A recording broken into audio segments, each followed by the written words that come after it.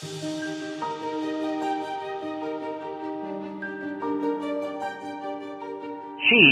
supposed him to be the gardener. When Mary came to the garden where the Lord had been buried, we read that, that she was distraught. She came and looked in the tomb. She saw two angels there, one at the head, one at the foot, where the Lord had lain. But they didn't interest her. Most of us would be fairly well distracted if we saw a couple of angels. But nothing could distract her from the fact she wouldn't be satisfied with angels. She would only be satisfied with her Lord. And she turned away from them. And she saw a man standing, and she supposed him to be the gardener. Well, she wasn't far wrong, was she? You see, the first Adam, he was made and placed in a garden. And God said, The day you eat of that tree of the knowledge of good and evil, you die. And not only would Adam die, but death would pass upon all men. So that the first Adam, placed in a garden, turned this garden of a world into a graveyard.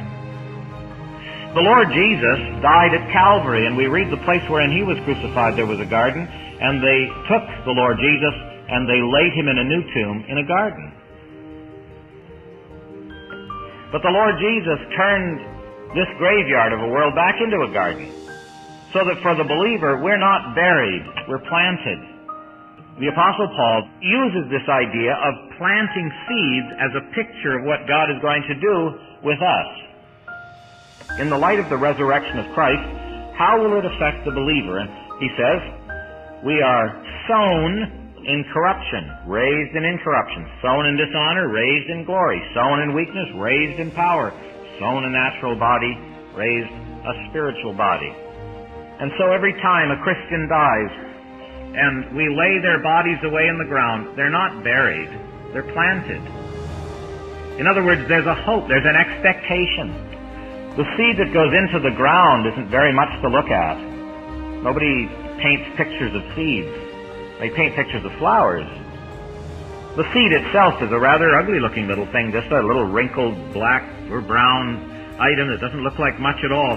But in that seed there is a life that will burst forth in fragrance and beauty and fruit. And so we plant it in hope with a view to something. Well, Christian, we're not much to look at when at last it comes time to bury us. Some bodies wasted away and crippled and uh, damaged by disease. But that's not how we'll come out of the grave.